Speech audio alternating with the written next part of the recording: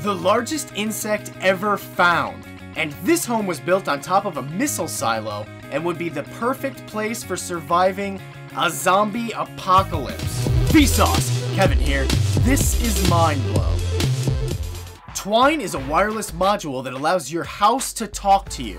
It uses internal and external sensors to detect things like temperature, moisture, and vibration, and can be used, for example, to have your dryer text you when your clothes are ready, or have your basement email you if it's flooding.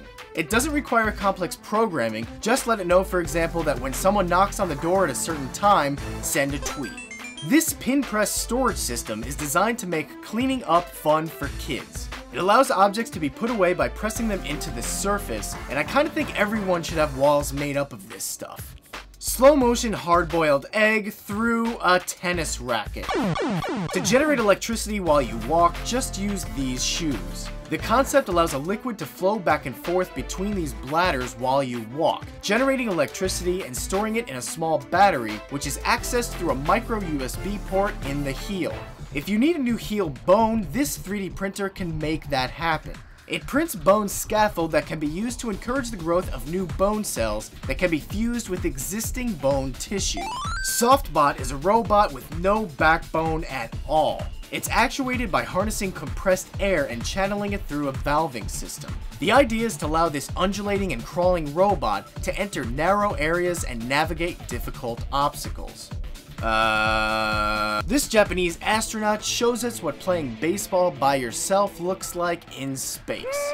And here's what eating food grown on your own body looks like. The Yeti crab is a species of deep sea crab that grows bacterial meals on its hairy claws. The bacteria is grown due to methane gas released from cracks in the ocean floor, so it's not using sun-fed plankton for energy like many other marine crustaceans, but instead uses chemical energy from the sea floor. Oh my god, that's If awesome. that's not alien enough, there's Kepler-22b, the only known planet to exist in a habitable zone of a sun-like star meaning it's potentially very Earth-like and only 2.4 times the size. This picture is an artist's rendering and not an actual photo because it's, uh, 600 light years away.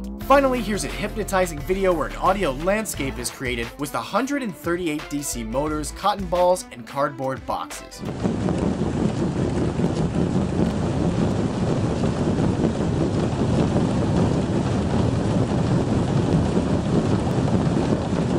I'm to leave you with a shrimp and a Rubik's Cube.